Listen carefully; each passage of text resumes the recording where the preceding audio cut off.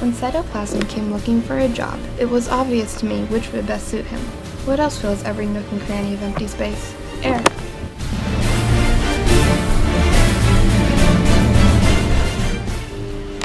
Asked plasma what he was best at, he said, I can control what goes in the cell and what goes out of the cell.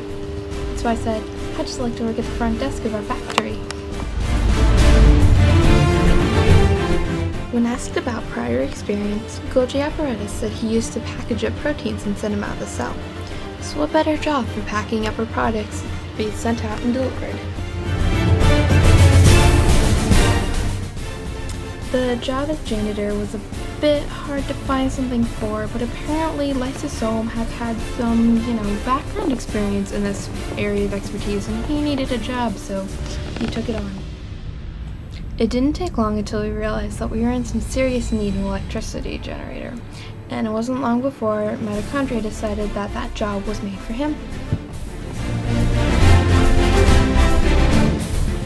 When I interviewed Vacuole, he told me that he could help, you know, break down larger things and store them. And at first I didn't really, you know, realize what he could help with, but then later it sort of hit me. He could help with inventory of things coming into our factory. Ribosome is our worker, who kind of goes hand in hand with our assembly line.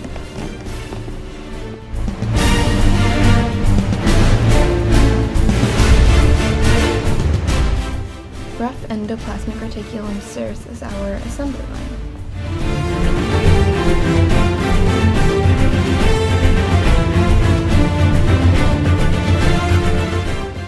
Smooth endoplasmic reticulum is kind of the modifying side of the assembly line. He helps out with the smaller bits.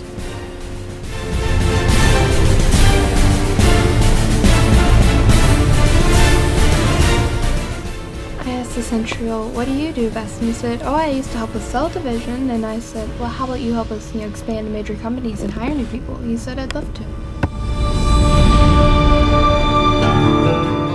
Nucleus is like the big guy. He's the you know, head of it all. He's got all the important information, and it's all kept in his office. He's, you know, the world's best boss, by far. Now, Nucleolus is kind of like our computer. That's kind of where, you know, everything gets pieced together. It's kind of organized, and he also makes more ribosomes because he is cool like that.